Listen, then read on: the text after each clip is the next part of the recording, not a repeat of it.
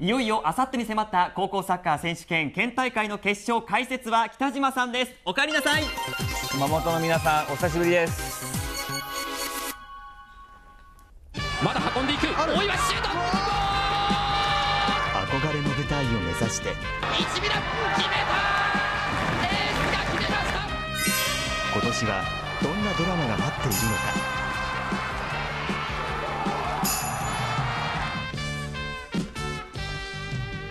さあ高校サッカーの季節です。熊本のスポーツ関アナウンサーです。はいお伝えします。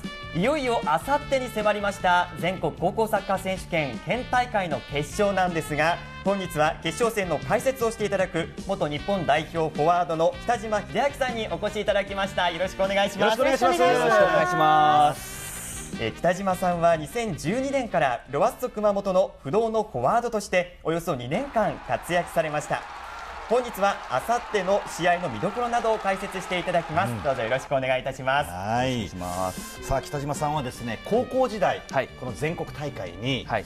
えー3度、はい。つまり連続してずっと出場なさってるんですよね。そうですね。3年間出ました。3年間、はい。成績は？えっ、と1年生と3年生で優勝しました全国制覇2回ですよ、はい。そんな北島さんから見て高校サッカーの魅力ってどういうところでしょうか、そうですね。やはり高校3年生にとっては最後の大会になるので一つ一つのプレーとかね。一試合一試合がもうそれ自体にドラマがありますよね、はい。そこにやっぱり心を打たれるんじゃないかなと思いますね。はい。はい。選手たちはさまざまな思いを胸にあさって決勝戦を迎えます、えー熊本県の県大会決勝今年は熊本国府高校とリューテル学院高校の対戦となりました。まずは熊本国府のチームの特徴から紹介します。まずは新人戦県高校総体で優勝し県内3冠を目指す国府。準決勝では0対1で負けている中後半残り10分の間に2点を奪い見事逆転で決勝進出を決めました。そんな国府の攻撃の特徴は？いいキッカーがサイドにいるのでそこに集めればチャンスは必ず作れるので、はいそれはもう狙ってやってます。準決勝を見ても逆転に導いた2得点はどちらもサイドからのクロスが得点につながっています。そして国府の一番の強みが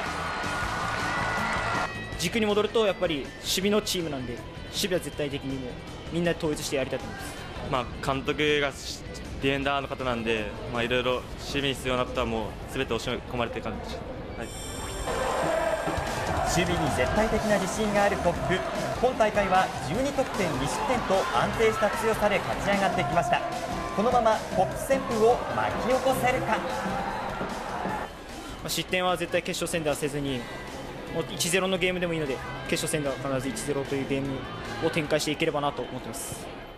はあ、守りが堅い国府ということなんですけども北島さん、はい。どんな点がその守備組織として素晴らしいんでしょうか？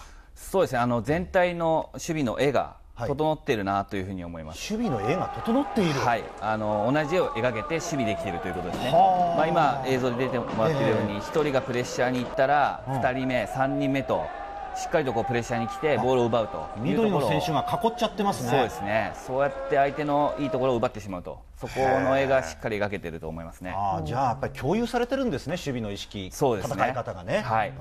さあ守りが堅い国府ですが一方国府の相手ルーテル学院はどんなチームなんでしょうか？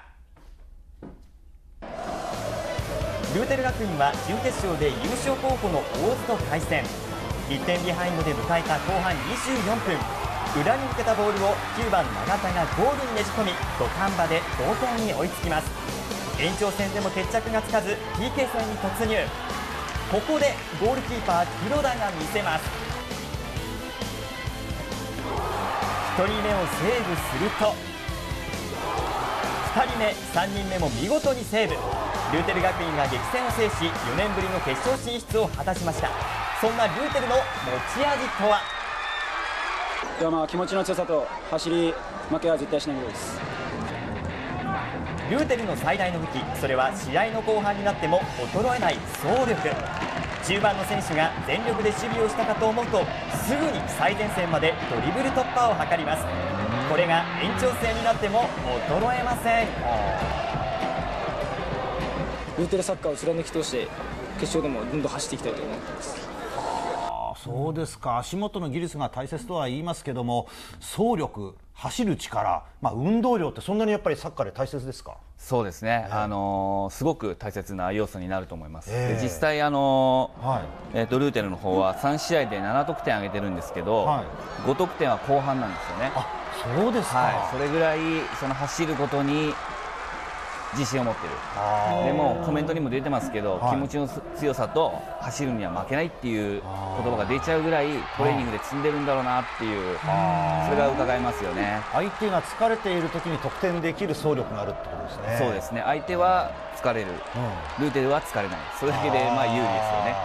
なるほどさあここまで両チームの強みを紹介してきましたが熊本県の大会決勝はいよいよあさってに迫りました、選手にはどんなプレーを期待していますか？いやもうあの1分1秒かみしめながら、あのー自分たちの全部を出し切って、えーいいプレーをしてほしいなと思います。えー熊本県大会の決勝戦はあさって熊本市の今金岡なスタジアムで午後0時5分キックオフです。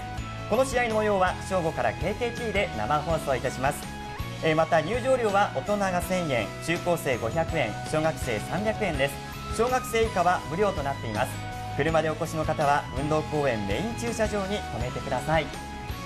えー北島さん、あさっての決勝戦、解説どうぞよろしくお願いします。よろしくお願いします。えーそして北島さんにはこの後もスタジオにご出演いただきます。はい。どうぞよろしくお願いします。あーですね。はいうん美味しいですね。これはね。美味しいえもうとろけますごいと思いませんか？すごいですね。谷間さん高校時代からそうやってねお金をしっかり貯めてで自分の授業料からあの自動車学校代から車代から、成人式の貸衣装なんて大体親が出すのがほとんどですよ。はい。全部自分で賄ってらっしゃるす。ごいですね。まあでもあの家族の絆を感じますよね。本当ですね。からの小さな会話が、ええ。きっとそういうお子さんに育ったんじゃないかなと思いますね。そうですね、はい。この親にしてこの代わりということなんでしょうけどもね